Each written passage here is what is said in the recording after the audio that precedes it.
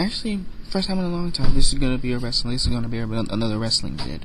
I'm just gonna be covering a few things. I'm gonna be covering TNA today, since you TNA fans have been telling me that you want me to cover some things that are going on in TNA because you want to know. So I'm gonna tell you, but I'm I'm going to tell you all the news about TNA hasn't been the best news about that wrestling show. I just wanted to tell you, okay. I told you in my TNA rant that the problem with the wrestling with that wrestling organization is that they do not push their young talent. They push WWE superstars over that young talent. Now, there have been a list of ECW people that want to leave EC that want to. There have been a list of TNA people that want to leave TNA because of those reasons. Those people are people like Homicide, Hernandez, Sanjay Dutt, Chris Sabin, Alex Shelley, and Ron Killings, all of which are great talent that TNA has, yet is refused to truly push at this time. They're basically for fillers. I don't know what the heck they're doing with Sanjay Dutt, or Chris Sabin, or Alex Shelley, or Homicide or Hernandez. Seems like LAX is just like a filler group now, like only on special occasions do they bring them out and stuff like that. That's just basically what's happening with TNA right now. You got a lot of people that want to quit.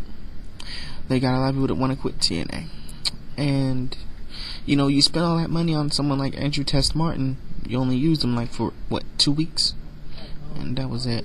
So, you know, I really don't know what to what, what to tell you about that and there's not much really else going on with TNA. But in the WWE, there is huge news, and I will tell you about some of that huge news right now.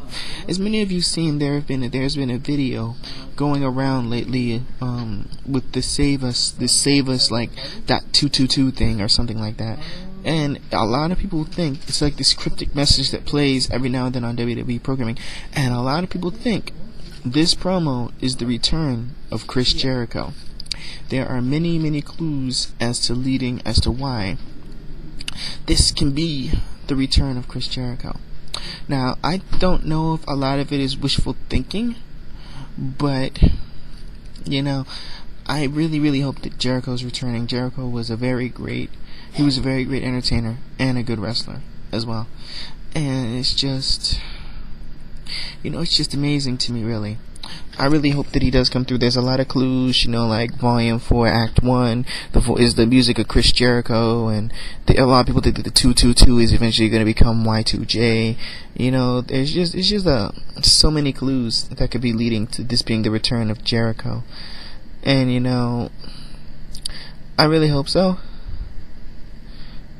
I really hope so.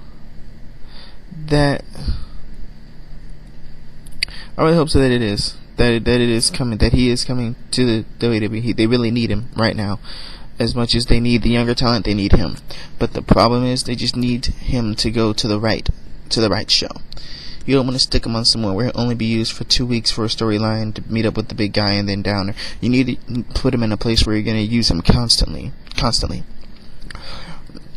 Oh, and uh, news on Andrew Test Martin has been going on lately, as the reason that Test and it's a, it's actually a, an amazing thing because Test was let go of the WWE because he was on steroids when he was trying to be um, he was trying to supposed to be this monster heel that was gonna face Bobby Lashley um, and take the title away from him.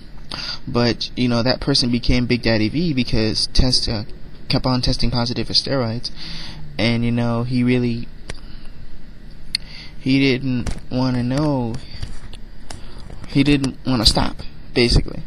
So they let him go. So then TNA picked him up. Same thing happens, but you know what?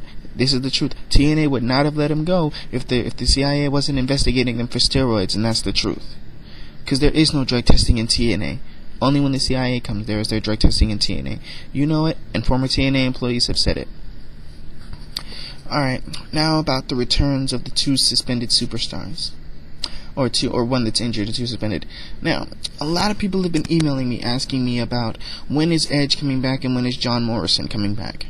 John Morrison will be back on ECW next week. Now, the huge question behind this whole situation is will John Morrison take the title off CM Punk? Or will CM Punk remain champion? John Morrison was supposed to have a very long reign as ECW champion. So I'm so we want to know if they're going to continue that or if they're going to keep the strap on CM Punk. If you notice when the ratings went up when CM Punk became the champion because everyone wanted to see it. Do you think the ratings will go down with that without uh, Morrison as champion? Well, ratings went down last last week. I don't think CM Punk's the reason for that. I'm sure ratings are gonna go up eventually, but you know I think it was just a falter because the season premiere house and stuff was last night. But you know, I just think that more important. I just think that more important things are going on right now. So the entire question is just whether or not CM Punk is gonna keep the title or not and I think ratings could go up or down depending on who has the title. It depends on how WWE plays this angle. They have to play this angle right. This is what's going to happen. This is how they need. This is where WWE see their story making in progress.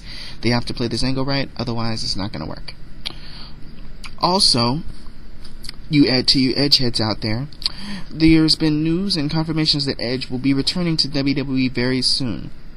They say at earliest he will be back at about No Mercy. The latest he will be back is Survivor Series. So look out for Edge on the horizon.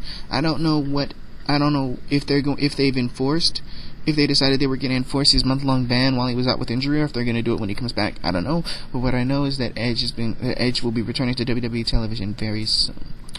Uh, aside from that, there's really nothing else to talk about in the wrestling world. Nothing big has happened. It's just this whole questioning on whether this um, this Save Us point two two two thing is really about um, is really about Chris Jericho returning. You know, we can only hope. We can only hope. We can really, really only hope.